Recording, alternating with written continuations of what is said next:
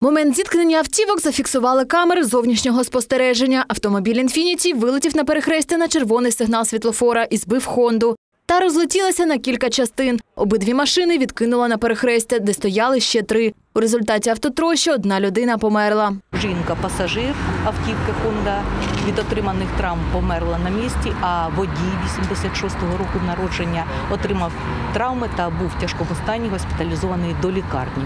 Черепно-мозкових травм зазнав водій «Інфініті». Його ушпиталили до лікарні імені Мечникова. Туди ж доправили і кермувальника «Хонди». Медики кажуть, його стан вкрай тяжкий. Максим, ему 34 года.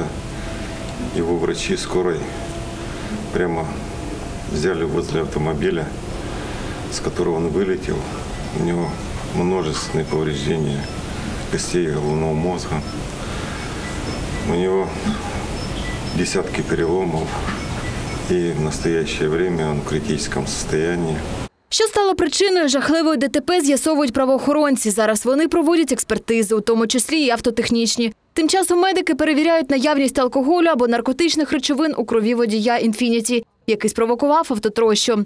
22-річному кермувальнику вже вручили повідомлення про підозру. Повідомлення про підозру у скоєнні злочину, передбаченої частиною 2 286 статті Кримінального кодексу України, порушення правил безпеки дорожнього руху.